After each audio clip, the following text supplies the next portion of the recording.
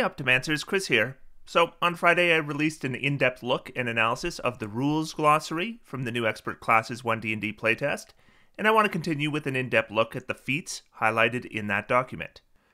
This playtest was a large document, and the rules glossary itself, which I basically flew through in my analysis, still meant a video of over half an hour just to highlight the big changes. And that's just the kind of document this is. This stuff here wasn't just lengthy, but these are big changes that foreshadow a very different game come the release of the new Player's Handbook in 2024.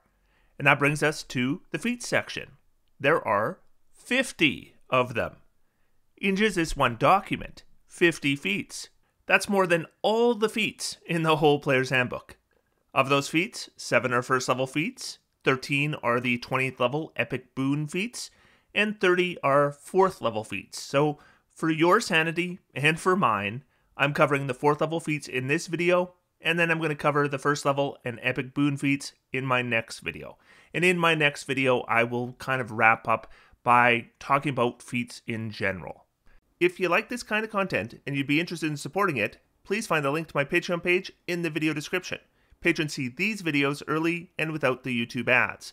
Additional perks, depending on your level of support, include an exclusive Discord community and getting recognized in these videos, which I'm going to do right now. Today I want to thank Airhead, Alex R., Rob Reichelt, Awesome Face, Barbar, Ben Potts, Benjamin, Bloody Nine, Brett McDowell, Atherazone, CJ, Chris Coons, Christian Wyndham, Unknown Watcher, Daniel Sturgeon, Dank Train, Dash Panther, Dave Peters, David Edgar, David F., David Lotz, David W. Skibbins, Dewey Cheatham and Howe, Douglas Reynolds, Drew Terry, Eric Wasserman, and FBKO5.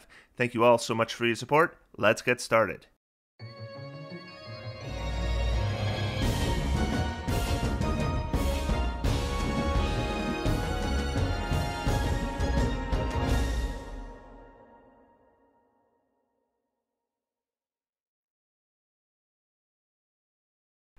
So let's cover some basics about the feats in 1D&D that we should probably go over before we get started here. First, feats in 1D&D have an assigned level. This is the level your character needs to be before you take the feat. In this document, 30 of the feats have the requirement of 4th level, which is what I'm going to be going over in this video. Now, it's unclear if there's going to be 8th level, 12th level, 16th level, and or 19th level feats, but I think there might, and that is potentially a lot of feats. Also, in 1D&D, you get a feat as part of your background, so any character will start with at least one first level feat at character creation. Feats also often have additional prerequisites in order to be taken. I find this seems to be more common in the playtest than in the current rules, and what I see most are either ability score requirements or weapon proficiency requirements, but they're not on every feat.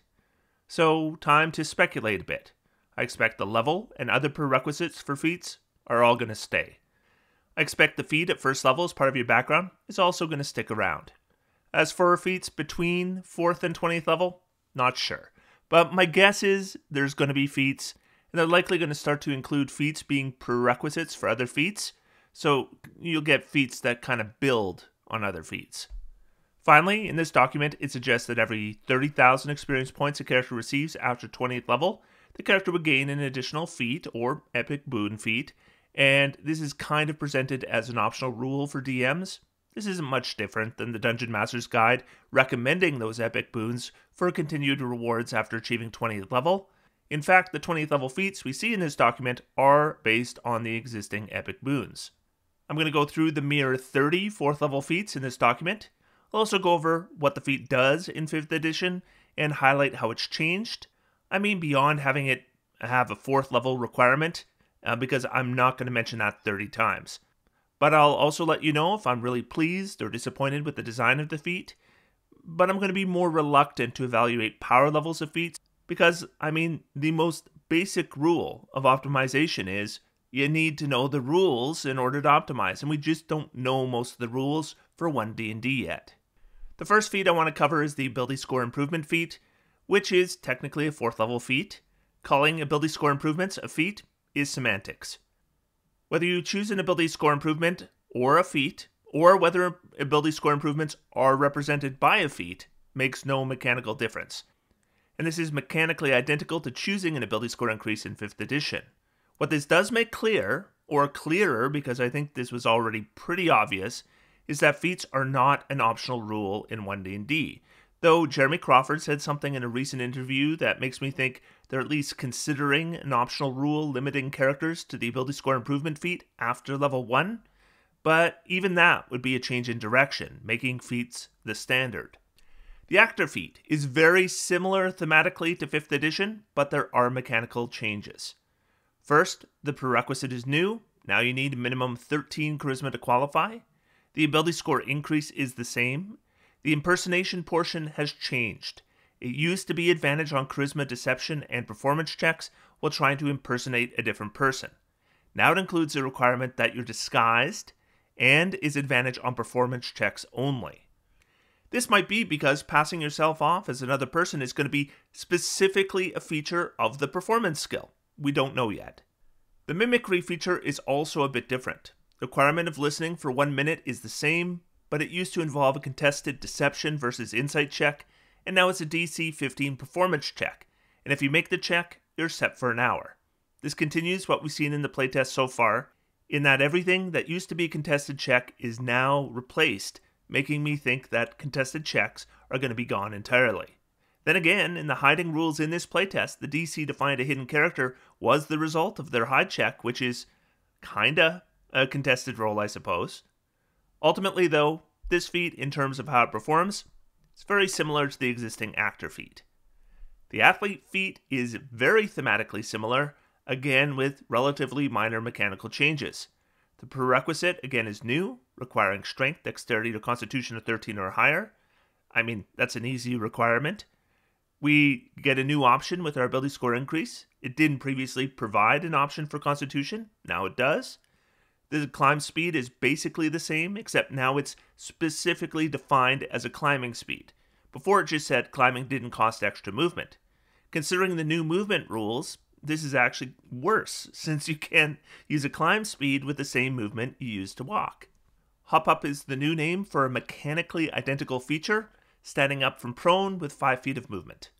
The bonus to jumping has changed. Previously, it reduced the movement requirement for a running long or high jump to 5 feet, and now instead it provides advantage on an ability check you make for the jump action. If you don't know what the jump action is, you should have watched my rules glossary video. It's my last video. Overall, this is okay. It seems like the mechanics here are pretty clear, pretty easy to use. Now, the Charger feat is infamous as one of the worst feats in 5th edition. It was a full feat, and it let you make a bonus action, attack, or shove when you took the dash action. And it provided a damage boost or a 10 foot shove if you moved at least 10 feet in a straight line before taking that bonus action. It was really not good. So let's look at the redesign. First, the prerequisite is new. We're seeing that a lot. Second, it's now a half feat, so you get a plus one to strength or dexterity. Third, now your dash is improved, increasing your speed by 10 feet for dash actions.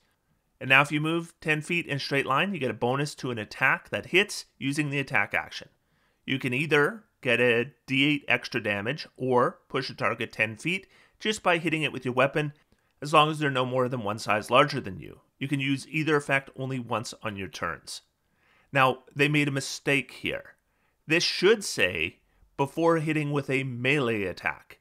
Instead, it just says hitting with an attack, which means we can move back 10 feet and then fire our longbow, and we would get this bonus, which makes no sense. So, designers, if you are watching, this should obviously be a bonus for melee attacks but that's not what you did here. So you probably should fix that up. Now, if you noticed, I've been hesitant saying which feats are good or bad up to now. That's not an omission, it's because without the rest of the playtest, these things are hard to gauge. However, here I am confident saying this feat is at least way better than it was. As we go into the rest of our feat options here, if I was using a melee weapon, this is absolutely a feat I would strongly consider. And that's something. Okay, crossbow expert. We have a lot to talk about. First, let's talk about what didn't change. Ignoring the loading property of crossbows is unchanged, except now it no longer specifies you need to be proficient, which is fine. Nobody's using a crossbow, taking the crossbow expert feat, and isn't proficient in crossbows. And that's it. Everything else is different. So the prerequisite is new, and I find it strange. If you are proficient in the light crossbow, you don't qualify for this feat. If you're proficient in the halberd, you do. If you're going to have a prerequisite, maybe it should be related to crossbows specifically, because this does not make sense to me. The ability score increase is new. This is now a half feat and provides a plus one to your dexterity score. That's nice. Firing in melee is probably the same, at least in practice, for most characters who took the crossbow expert feat. The change is now it's limited to crossbows, which makes sense, but in 5th edition, I've seen non crossbow using builds that take this feat for that feature because it wasn't restricted to crossbows. Now, here's the big one dual wielding. Used to be that you could make a bonus action attack with a hand crossbow as long as you use the attack action to attack with a one handed weapon which was generally the same hand crossbow. Now it says when you make the extra attack of the light weapon property, you add your ability modifier to the damage of the extra attack if that attack is with a crossbow that has light property, which, if the rules for that remain unchanged, is the hand crossbow. Now here's where I have a problem. Maybe. I mean, we haven't seen the ammunition property, uh, so maybe it's going to change. Or maybe even the ammunition property isn't going to exist anymore. We don't know. But if it does, this is super clunky. You see, the ammunition property says, and I quote, you need a free hand to load a one handed weapon. So, how are we dual wielding a hand crossbow with anything? And I mean, unfortunately, there is a way to do it, and it requires you being ridiculous. So you equip the hand crossbow in your right hand, you shoot it, then you drop it, and then you equip a different hand crossbow in your left hand and shoot it using the light property. That technically would fulfill the light weapon property extra attack rules, and this needs to change because that's idiotic. Here's a proposal on how it could be fixed. So it could say dual wielding. While holding a light melee weapon in one hand, and you make the extra attack of the light weapon property with a crossbow with that property in the other hand, you may ignore the ammunition property of that weapon and add your ability modifier to the damage of that extra attack. Now, that might be a bit wordy, but I think it ultimately does what the designers seem to be going for here, which is a character using a light melee weapon in one hand and a hand crossbow in the other hand. Anyways, this one just doesn't really work as written or it works using a ridiculous workaround for two crossbows at once. As far as I'm concerned, I think it needs a redesign. Okay, so let's move on to Defensive Duelist. Here, the prerequisite is the same as the 5th edition version, and the parry feature is worded a bit differently, but it's effectively the same. What's different is that it's now a half feat and it provides a plus one to your dexterity. Now, this may be a really good feat. It depends. In 5th edition, we have a reaction that adds a plus 5 bonus to your armor class for an entire round against every attack that you face in that round. Mm, this doesn't compare to that. But so far, we just don't have enough to compare this to. Okay, so, Dual Wielder. Here is a feat we seldom see in 5th edition. The current version provides a plus 1 bonus to armor class when you're using 2 weapon fighting. It allows you to use 2 weapon fighting with weapons that aren't light, and allows you to draw or stow two weapons at once. I am not a fan of this feat. So, this version adds a martial weapon proficiency prerequisite, which may be an issue for bards now, but I don't know why anyone would take this feat. It, I mean, it provides a plus one bonus to strength or dexterity. That's a nice boost, but what else do we get? Well, it allows you to treat a weapon you're holding in one hand as if it had the light property, as long as the weapon you're holding in your other hand has the light property. So instead of being able to use two long swords, you would use like one long sword and one short sword, for example. This is worse than the current dual wielder feat, at least from an optimization standpoint, and even that wasn't great, but here we're getting very little benefit. But we do get one other feature. The quick draw feature is a repeat of the drawing or stowing two weapons. So, yeah, I just have mixed feelings about this feat. I mean, making this a half feat helps, but honestly, I don't see the point of it. Enhanced dual wielding is fine. I guess, thematically, I like the idea of one light weapon and one heavier weapon, though mechanically it is a really tiny boost. But quick draw here. This is pointless. The rules glossary fixed the drawing two weapons problem already with a change to the attack action, which allows you to equip a weapon for any attack. We don't need quick draw anymore. And let me be clear it's great we don't need it. But if we don't need it, then this is one rapier instead of a short sword, and that's it. That is not enough for a feat, even a half feat. I mean, look what Charger gave us, and it's a half feat. Maybe put the plus one armor class back in or something, because even if I'm making a two weapon fighter, I'm not sure why I'd bother with this feat at all. Onto another feat that was really bad in 5th edition the durable feat. The prerequisite is new, and honestly, it makes sense. How's your low constitution character durable exactly? The plus one constitution is the same as it was, and the 5th edition version allows you to add twice your constitution modifier when expending hit dice on a short rest, which was really lackluster.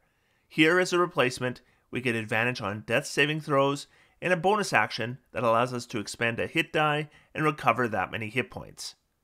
Now, I think it's important to point out that the speedy recovery provides fewer hit points than expending the hit die over a short rest because you're not adding your constitution modifier. Overall, I think this is better than it was, but even if we look at what we've seen already, like the Barkskin spell giving us temporary hit points every round, I'm not seeing this as a very potent feat, but I do think it's an improvement. The Elemental Adept feat has a slightly different prerequisite. Before you needed the ability to cast at least one spell, now it requires the spellcasting or pact magic feature. This prerequisite makes more sense honestly, like before, you can take the feat multiple times if you choose a different damage type. This time, though, it's a half feat, and you get a plus one to a mental ability score, so that's nice. Otherwise, the feat is the same. Choose a damage type, ignore resistance to that type with spells you cast, and any ones on damage rolls for spell damage are treated as twos. So, is adding a plus one ability score modifier enough to make Elemental Adept a decent feat? Hmm, I think so. Okay, so here's an interesting one. The grappler feat, once again, was always considered one of the weakest feats.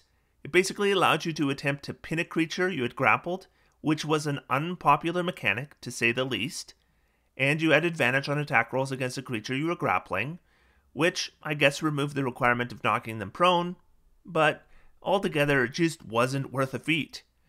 So here we see a prerequisite of strength or dexterity of 13 or higher, it used to be just strength, but considering it's going to be theoretically possible to grapple now with a dexterity attack, I mean, that is assuming monks still make unarmed strikes with the option to use dexterity, then this makes sense. So the advantage to attack a creature you're grappling is unchanged, but look at all you get to replace the pin mechanic. First, you get an ability score increase to either of the prerequisite ability scores. Second, you aren't slowed when you move a creature you're grappling as long as it's not a larger size than you.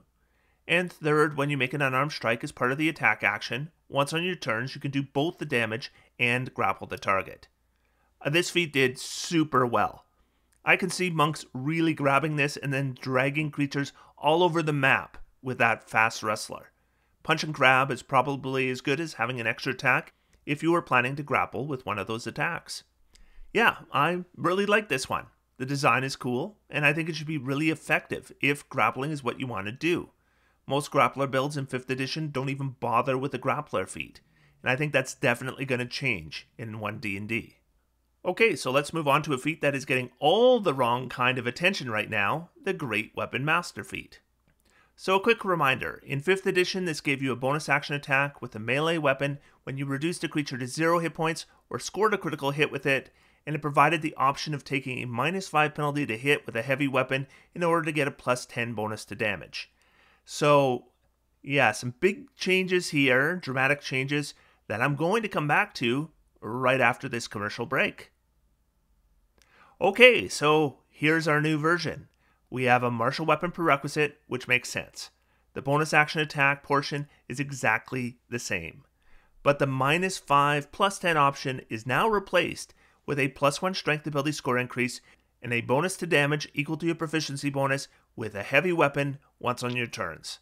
So to be clear, this means the 5th edition standard of a heavy weapon melee character using this along with advantage to get huge damage numbers, it's no longer a thing. But I think this needs to be said. Compared to the other feats we see here centered around different kinds of weapon use, this is, honestly, a decent feat. I am sorry to everyone who wanted me to crap on this.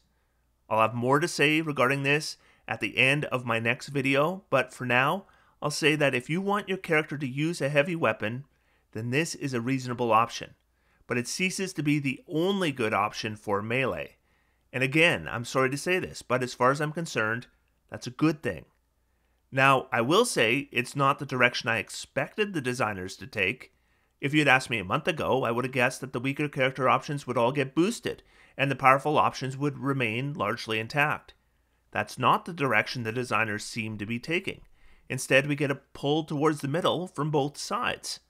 And it's too early to conclude that the minus 5 plus 10 mechanic is gone from the game.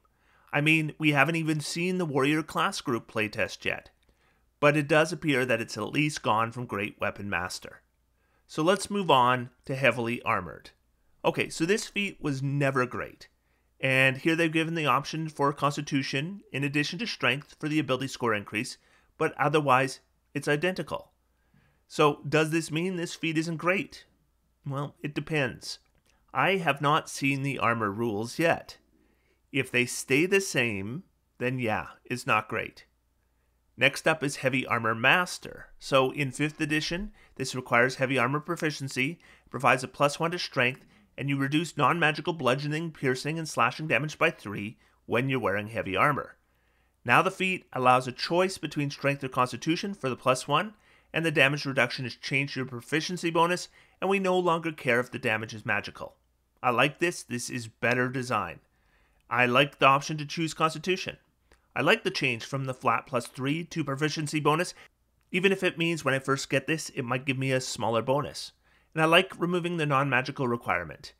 So, as far as design goes, I am happy with this.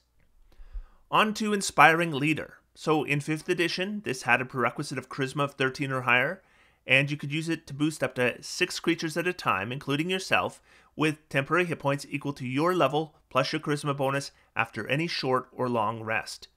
Now the prerequisite can be either charisma or wisdom, and now it includes a plus one to either charisma or wisdom. I am happy for the ability score increase, but why is wisdom an option for the prerequisites and increase? The feat is inspiring leader, not careful planner. I guess to me, the idea of being good at encouragement and inspiring others is something I would identify as a quality of being charismatic. However, the big thing here is the temporary hit points this provides are significantly changed.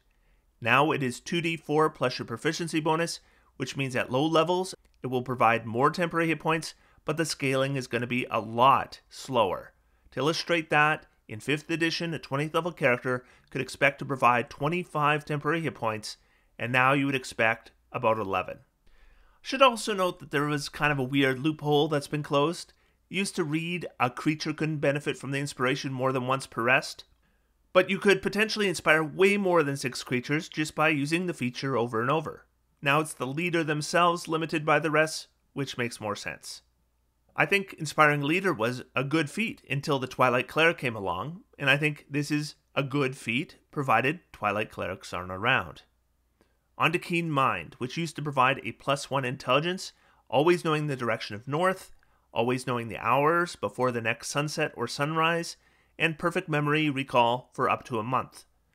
Now we include an intelligence prerequisite, so that makes sense, and we still get the ability score bonus, and everything else is different. We get a bonus skill proficiency, and if we already have that skill, then we get expertise, and we can take the study action as a bonus action. And I think these are great changes. I particularly like the study action boost. Requiring an action for the options with the study action is a pretty big limitation. And when you have that limit, then even reducing it to a bonus action is quite good. This is the feat I want for a character who is an expert in monster lore. Okay, so let's move on to another feat that was unpopular in 5th edition the Mage Slayer feat. The 5th edition version provides a reaction attack against a creature casting a spell within 5 feet of you. When you do damage to a creature concentrating on a spell, you impose disadvantage on the concentration save, and advantage on saving throws against spells cast by creatures within 5 feet. Now we have a martial weapon proficiency prerequisite, which is fine. We get a plus 1 to strength or dexterity, so that's nice. Concentration Breaker mimics the 5th edition feat regarding imposing disadvantage on concentration saves. And then Guarded Mind, that one is interesting. If you fail an intelligence, wisdom, or charisma saving throw, you can succeed instead once per long rest.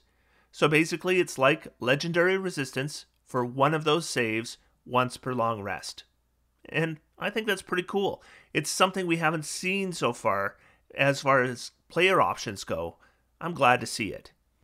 Okay, Medium Armor Master. In 5th edition, this has a medium armor proficiency requirement, of course, removes the disadvantage that some medium armors cause on stealth checks, and increases the maximum dexterity bonus to armor class from 2 to 3 for medium armor.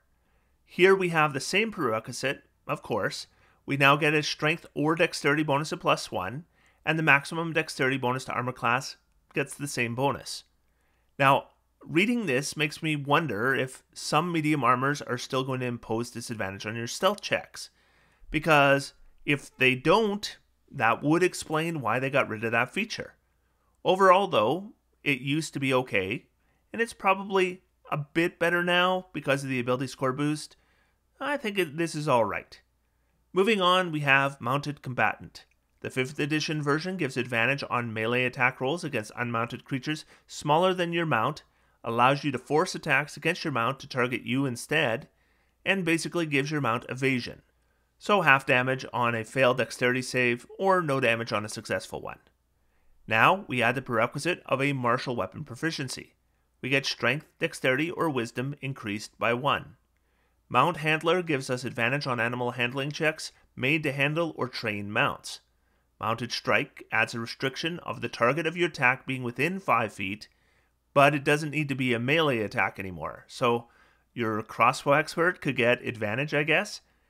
This one makes me wonder how lances are going to be handled in 1D&D. And then leap aside is basically the same evasion feature. The only mechanical change is it specifies your mount can't be incapacitated either, which makes sense.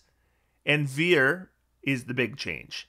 Now redirecting an attack against your mount occurs after the attack hits but it uses your reaction. That's a significant limitation. Overall, I think this feat has even less likelihood of keeping your warhorse alive than it did in 5th edition.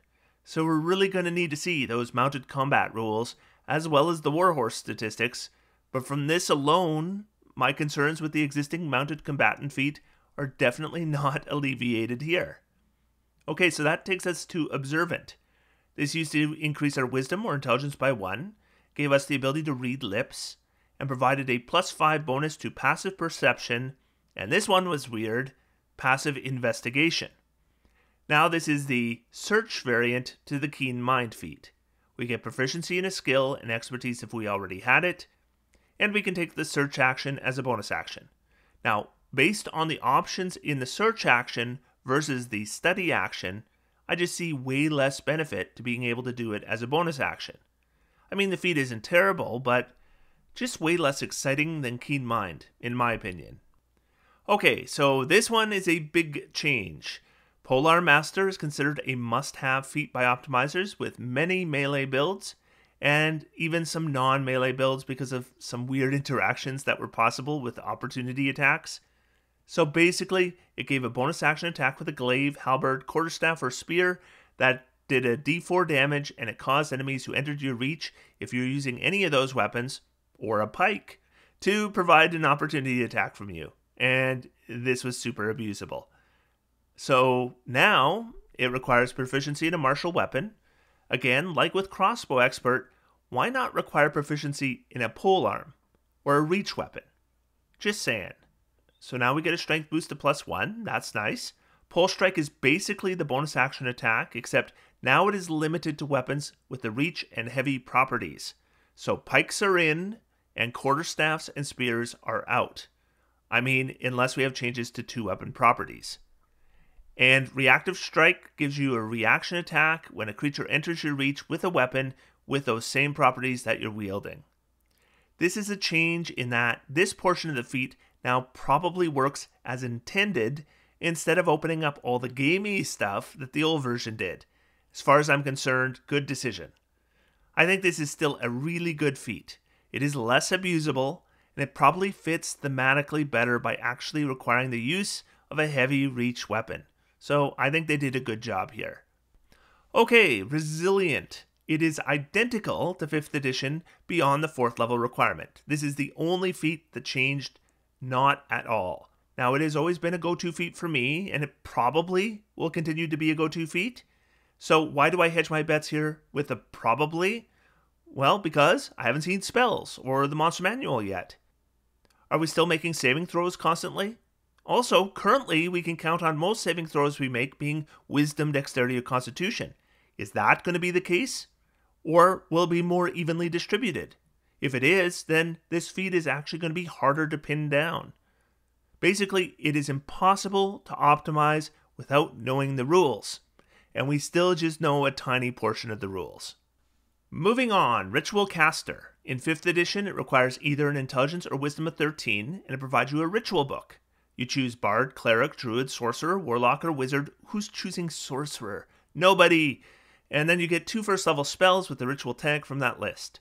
Then, anytime you come across a spell scroll or a spell book with ritual spells from the class list you chose, then you could add it to your ritual book, costing 50 gold pieces and 2 hours per level of the spell. You can cast any of the spells in your ritual book, provided you cast them as rituals. You need to hold a ritual book while casting those spells. Okay, so now the prerequisite includes the option of charisma, and we get an ability score increase on any of our mental ability scores. The ritual book is gone. Instead, you just get two first level spells with the ritual tag from one of the three big spell lists. You always have the spells prepared and you can cast them with your spell slots. Of course, because they're prepared, because of the rules glossary, it is unnecessary to add that yes, you can cast them as rituals. Then you get the ability to cast any ritual spell you prepared with its regular casting time without expending the spell slot once per long rest. Now, are we getting some amazing first level rituals? will find familiar be unchanged because I gotta say, overall, this seems a lot less impressive than the 5th edition feat, but we'll see. Here's a feat I think did really well Sentinel. So, previously, this feat was considered to be fairly solid. It caused a creature's speed to become zero for the rest of a turn if you hit them with an opportunity attack. Disengage didn't allow creatures to leave your reach without provoking an opportunity attack and if a creature within 5 feet of you made an attack against a creature other than you without the Sentinel feat, then you got a reaction attack. Now, Sentinel requires proficiency in a martial weapon, which makes sense. You can increase your strength or dexterity by 1, so that's a nice little boost. Guardian combines both the ignoring disengage and the reaction attack against a creature that attacks an ally. The only real difference here is the ignoring disengage didn't used to have the 5 foot limit, which makes a difference if you are using a reach weapon, and halt remains the same. Now, there used to be a pretty nasty combination using Sentinel plus Polearm Master and a reach weapon to impose the zero speed before the enemy could get to you. That loophole is closed, since the Polearm Master reaction attack isn't an attack of opportunity anymore, and that is probably a good thing. Overall, though, this seems super solid. It is mostly the same plus an ability score increase. Okay, so this is going to ruffle some feathers. The Sharpshooter feat has consistently been ranked as one of the most powerful feats in 5th edition. I don't think it is going to achieve that ranking in 1D&D. The 5th edition feat allowed you to attack with a ranged weapon at long range without disadvantage, allowed you to ignore half and three quarters cover, and the big one allowed you to take a minus 5 penalty to hit to increase your damage by plus 10. So I have a lot to say about this. And I like to think I'm a thoughtful person, good at analyzing things, which is why I'll be back right after this commercial break. Okay, here's what's the same. You can still make a long range attack without disadvantage. You can still ignore half and three quarters cover. Here's what's changed the minus 5 plus 10 option is gone. Instead, you get a plus 1 dexterity and you can attack within 5 feet of an enemy with a ranged weapon without disadvantage. So, like with Great Weapon Master, you lose the minus 5 plus 10, but at least in that case, you had some kind of damage bonus. Here, there is no damage bonus. I mean, I guess technically, if your plus 1 dexterity boosts your dexterity bonus, I guess that's a damage bonus, but I mean, there's no flat damage bonus here. Now, if I'm using a ranged weapon, I have to wonder do I even want this feat? I think so. Bypassing cover is a big deal, and depending on the weapon I'm using, the long shots feature could be useful as well. However, if I am using a crossbow and I took crossbow expert, the redundancy of firing in melee, it just feels terrible. From a design perspective, I would think either sharpshooter should be something for ranged weapons that aren't crossbows, or that aspect of the feats shouldn't be duplicated. Because, of course, a crossbow user wants both feats, but you throw on this firing in melee thing, which maybe didn't need to be there, and it feels like you're being swindled if you take both feats. Now, again, I should caution we don't know how weapons are going to compare to spells, we just don't have that information. But I would encourage changing the firing and melee portion of this feat to do something else. I mean, you could just have it do the proficiency bonus damage like with Great Weapon Master, or something else. Anything else. That's my thoughts on it, anyways. Let's move on. Shield Master. The 5th edition version gave us a bonus action shove with our shield when we took the attack action, Jeremy Crawford went back and forth on whether this could be done before, during, or after that attack action. You got your shield's armor class bonus to a dexterity saving throw against a harmful effect that, get this, targets only you. Seriously. And you could use your reaction to take no damage if you made a saving throw when a dexterity save would normally allow half damage. I mean, it wasn't a bad feat, but it was a bit of a mess in terms of design. Here's what we have now. First, we had a prerequisite of shield training. Well, that hopefully that's not a problem. Then we get a strength increase of plus one. Shield bash is changed. First, we only get it if we hit with an attack, so that answers the question about whether we need to attack first. And the enemy makes a strength saving throw or is knocked prone or push 5 feet. You can only do this once on your turn, but it doesn't use your bonus action and Interposed Shield gives us the reaction to take no damage instead of half on a successful saving throw. The shield bonus to dexterity saving throws against spells and harmful effects that target only us is now removed. I mean, this basically does the same stuff, but is way cleaner. They got rid of the pointless feature, they gave you a bonus to strength, and then there's the shove, which needed change because shoves no longer work the same, now doesn't use your bonus action, which is pretty great, honestly. Overall, I like what I see here. And we are now down to the final five. The Skulker feat. In fifth, you needed a dexterity of 13 to qualify. It allowed you to hide when you were lightly obscured, even though 5th edition has no rules regarding the obscurement levels required for hiding, though we kind of figured out that at least lightly obscured shouldn't be enough, otherwise, what was the point of this feat? If you are hidden and you make an attack and miss, you remain hidden, and dim light doesn't impose disadvantage on your perception checks. Now we see the prerequisite is the same. Now we get a dexterity increase. We get blind sight of 10 feet. That's pretty solid. Anytime we take the hide action in combat, we get advantage. And the part about attacking from hidden and missing, that remains the same. I'm satisfied with this. Skulker was a feat that needed some fixing, and this is nice and clear. Though, you know what? Now it is actually spelled out in the hiding rules that you normally would need heavy obscurement or three quarters or more cover, so I'm going to miss the option to hide in light obscurement. I mean, if light obscurement is even a thing in 1D&D, maybe light obscurement won't exist at all. We don't know. Next, the speedster feat. You can't fool me. This is a rewrite of the mobile feat, folks. So the mobile feat increased your speed by 10 feet, allowed you to use the dash action to move across difficult terrain without expending extra movement, and it allowed you to avoid opportunity attacks from a creature for the rest of the turn if you made a melee attack against it. So here are the changes. First, now we have a prerequisite of dexterity or constitution. We also get a boost to one of those same scores. The speed increase is almost the same, but now there is a restriction that you can't be wearing heavy armor. And okay, that makes sense. The dash action over difficult terrain is identical. And the part about avoiding opportunity attacks, it's gone. Yeah, yikes, that was the best part of the feat. Oh, and now it has a worse name for some reason. So basically, we're trading the ability to avoid opportunity attacks for an ability score boost. I think the feat is still okay, and at least it doesn't shoehorn you into a melee build.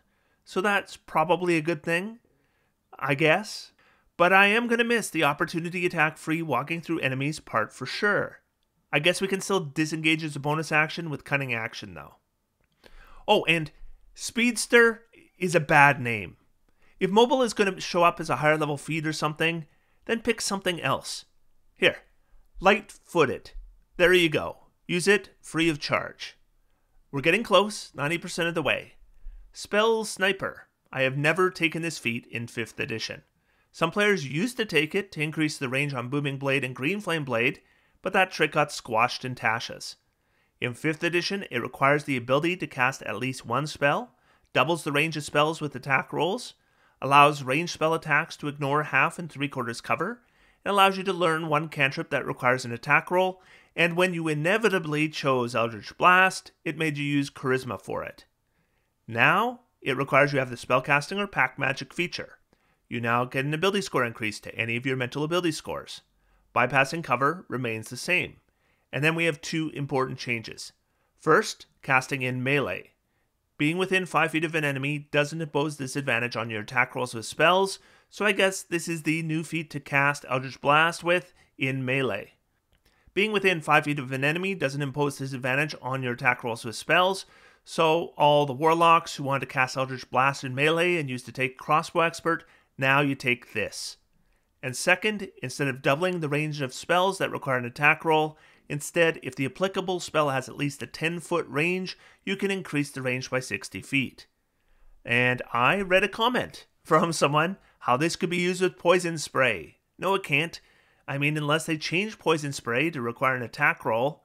But for design, I think this is fine. As for effectiveness, let's wait for spells. In 5th edition, we don't have a lot of leveled spells that require attack rolls, and most of them aren't great options. If that changes, this could be a pretty important feat for a character focused on those kinds of spells. Okay, so if you actually play with 5th edition, you're probably familiar with the features of Warcaster, but let's review them anyways. You need to be able to cast a spell to take defeat. It provides advantage on constitution saving throws to maintain concentration when you take damage. It allows you to perform the somatic components of spells when you have your hands full, as long as one of those hands is full of a weapon or a shield. And when a creature's movement provokes an opportunity attack from you, you can use your reaction to cast a spell at them rather than making the opportunity attack as long as the spell was an action to cast and only targeted one creature. So, now, you need the spellcasting or pact magic feature, and you get a mental ability score increase. The concentration feature is now better. The advantage to concentration saves now works regardless of whether the save is caused by damage or not. Reactive spell is almost the same, except there was a little loophole that was closed. Before, it said this was triggered if an opponent's movement provoked an opportunity attack, but now it specifies if the opportunity attack is triggered by them leaving your reach. I'll save you the little tricks this prevents, but it prevents some tricks.